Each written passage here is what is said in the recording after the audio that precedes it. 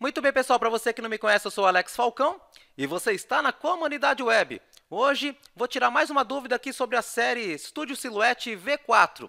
Eu tenho recebido aqui alguns comentários no Facebook e até mesmo no nosso canal aqui do YouTube a seguinte dúvida. Querido e maravilhoso professor, como é que faz para remover as atualizações? Toda vez que eu abro o Studio Silhouette, pede para fazer a atualização. Mas eu não estou afim de fazer atualização, meu filho. Como é que eu faço? Muito simples. Você vai ter que fazer o seguinte.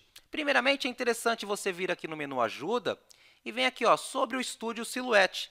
Ele vai fornecer aqui a seguinte informação. Você está utilizando o Estúdio versão 4.1.197SS. E aí eu vou entrar aqui no meu navegador e você digita aí ó, silhouetteamerica.com barra software, do jeitinho que está aqui. E aí você tem aqui as últimas versões, tá certo? Aqui, ó, beta version 4.1339 beta e tem aqui 4.1.201. Então, a última é essa aqui. Se você quiser saber mais informações, por exemplo, ó, é, esse aqui, você vem aqui em Notes. E aí, se você não entende nada de inglês, o que, que você faz? Você seleciona, copia o lado direito do mouse e vai lá no Google Translate. Eu já copiei aqui, ó. Então, ele está falando que nessa nova versão está é, tá corrigido o acidente que ocorreu ocasionalmente ao importar bibliotecas de versões da pré-nuvem. Credenciais do, do Import Library podem agora, podem agora ser inseridas com sucesso sem precisar selecionar o campo de senha primeiro. Bacana, estava tendo esse problema também. Já vou resolver isso aqui agora. Exportar grandes bibliotecas locais não causa mais falhas.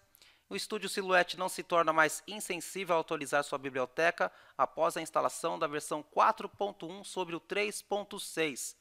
Bem interessante isso aqui. Isso daquela versão, né? Se a gente pegar a mais atual, o que, que você faz? Seleciona e aí você vai ver também a última atualização.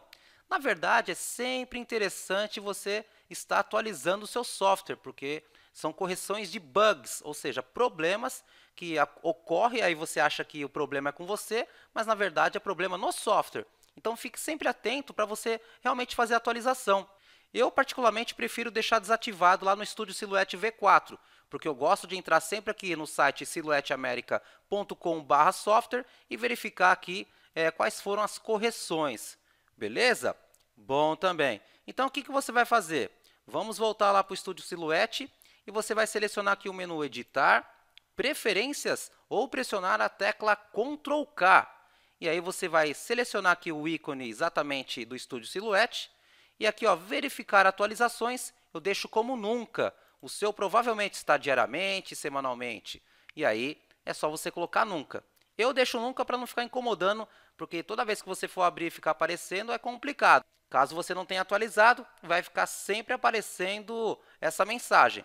Então, eu particularmente deixo desativado e frequentemente visito o site silhueteamerica.com/software, tá certo? Aí é questão de gosto e gosto não se discute. Não é simplesmente clicar em OK para fazer a atualização e aí você nem sabe o que foi atualizado, o que foi realmente corrigido, ok? Então, se você gostou dessa videoaula, clica no botão curtir, compartilhe para que outros amigos possam é, saber sobre essas atualizações, né? Como deixar desativado e verificar lá para que você possa saber o que realmente foi atualizado e, na verdade, até fazer a tradução, porque muita gente não sabe o inglês. Beleza? Eu sou o Alex Falcão e você está na comunidade web. Muito obrigado por ter assistido esse vídeo até o fim.